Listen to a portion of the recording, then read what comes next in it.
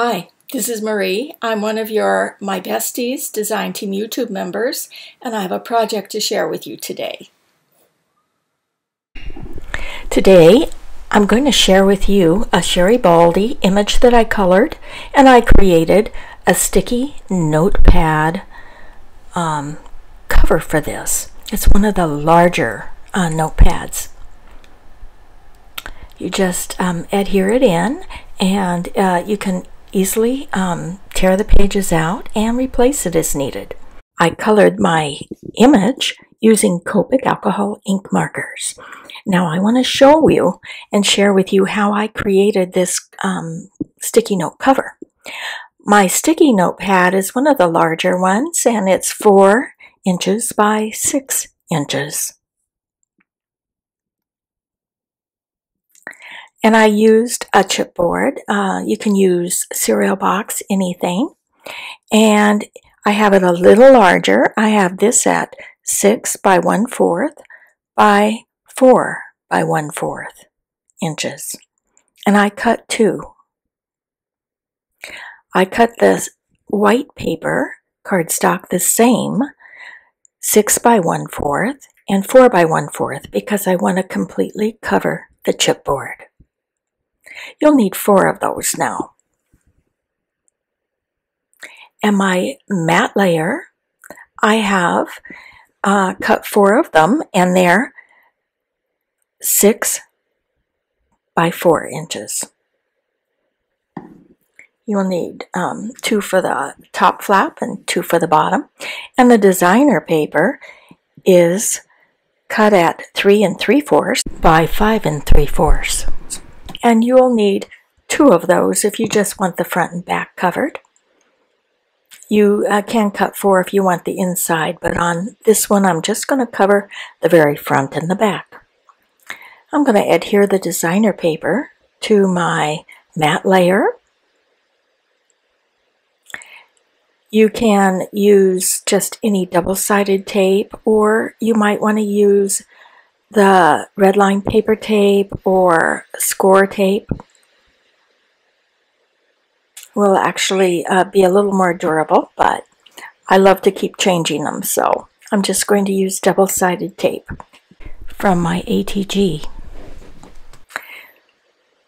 And now I'm going to cover the back, put those layers on my chipboard and I find it easier to actually put the double-sided tape at this point on the chipboard itself. It's a little more sturdy. And I'll adhere first of all the white cardstock. You can use any color you want, but I'm going to be, um, and secure it, kind of burnish it down with your finger, nice and, and sturdy. And I'm uh, repeating the process for the other, and you will put this white cardstock on both sides of each um, chipboard. I kind of ruined my um, my regular cutter uh, with this cardstock, so you might want to do it by hand um, with just scissors.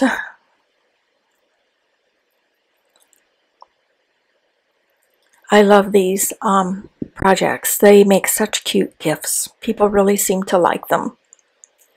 And again, we're covering them with the cardstock on both sides. And the important thing will be that the edges may turn up a little, so you'll want to file those down a little. Uh, only um, using your uh, sandpaper in one direction, um, and that will help prevent some of the uh, edges from curling up. And now we're going to adhere the matte layer and designer layer to the white cardstock. You should have about an eighth of an inch all around each side evenly. And again, burnish it really well with your finger. You're going to put this on one side of um, each of your chipboard covers. And again, if you want to, you can um, apply the designer paper to both sides of each, but I'm going to demonstrate just um, putting the designer paper only on the front and the back. But I will apply the layer actually to both sides because I don't want uh, it to be just plain when they open up their little notepad.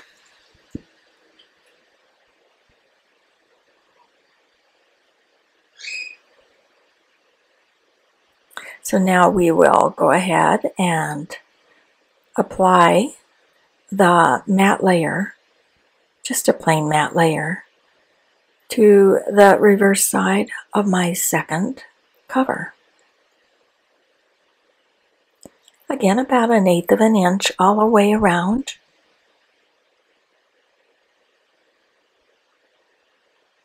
Now you have your back and you have your front.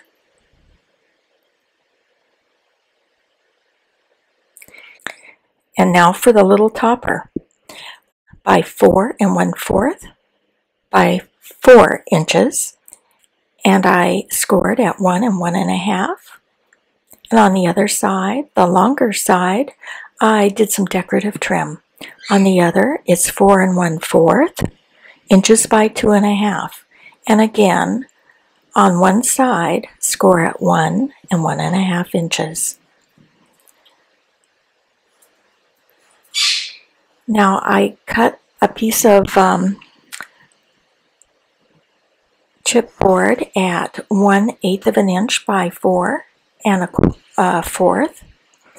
And I'm going to just adhere this to the very center in between the two score lines of the longer one. And again, burnishing, uh, kind of sanding the edge of the chipboard. And as that folds over, it will give it a little extra strength. And then we're just going to only, um, we're going to adhere this now, align it, um, the uh, center of the score lines to where the chipboard is. And you can fold the other edges down and adhere those with some glue or some double-sided tape.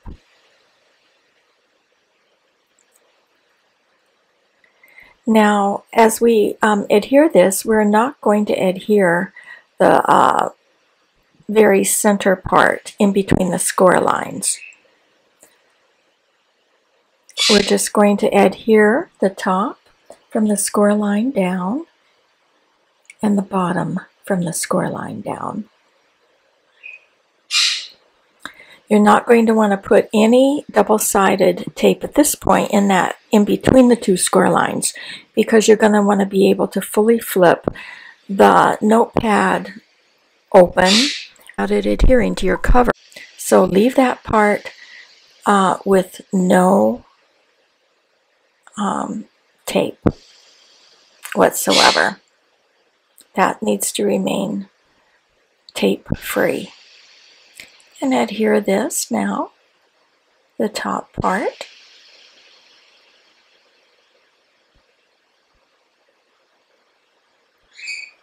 And there it goes, and you can burnish it with your fingers, get a nice seal on there. And then we're going to take our little um, scratch paper and actually um, with a score tool actually really make sure that's sealed nicely. I'm going to just only add some tape to the very top part of the um, notepad. It will um, hold just fine with only uh, about four lines from the top. I'm uh, embellishing this with a little bow, a ribbon, something uh, just a, a, easy, quick and easy, simple bow tie. And there you have it. And now I'm going to um, just add a little bit more, uh, one more notepad on there for measure. Going to put um, kind of a, a blue-green to match the ribbon on there and just adhere that in the same manner, four lines across the very top, and adhere it to the top page of the orange one. And there you have a, a really cute one, and it's all ready for your My Bestie's focal image to be applied. You can also just put a sentiment if you'd like. I hope you enjoyed this, and if you do, give it a thumbs up. I hope you like, share, and subscribe. Thank you for watching.